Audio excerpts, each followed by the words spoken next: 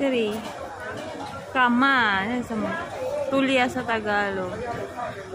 Kama sa Taiwan.